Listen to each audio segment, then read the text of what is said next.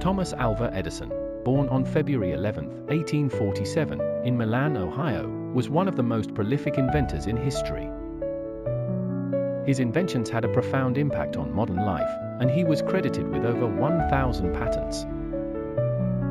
Edison was not only a skilled inventor but also a successful entrepreneur, forming several successful companies, including General Electric, which remains one of the largest publicly traded companies in the world.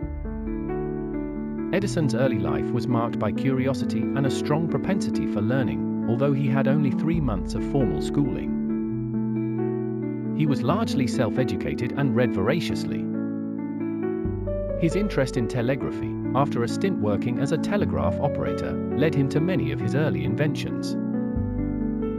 One of his most notable inventions was the phonograph in 1877, which revolutionized the way people consumed music.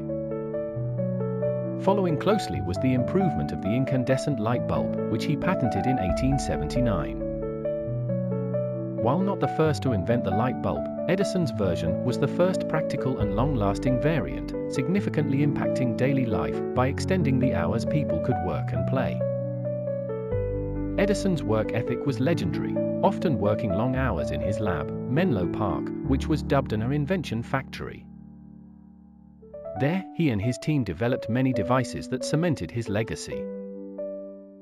In addition to the phonograph and light bulb, Edison invented the motion picture camera, leading to the birth of the film industry. His team also worked on the development of the electric power distribution system, making it possible to bring electricity to homes and businesses.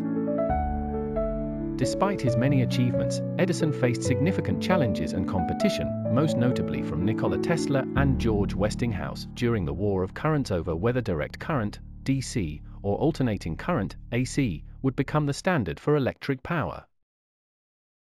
Ultimately, alternating current, championed by Tesla and Westinghouse, became the standard, but Edison's contributions to electric power distribution remain invaluable. Edison held a philosophy of practical application over theory.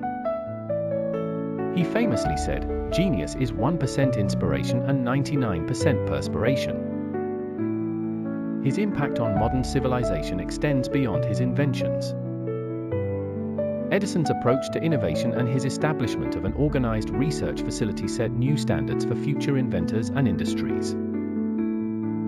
Thomas Edison passed away on October 18, 1931, in West Orange, New Jersey, but his legacy lives on through his contributions to technology and society.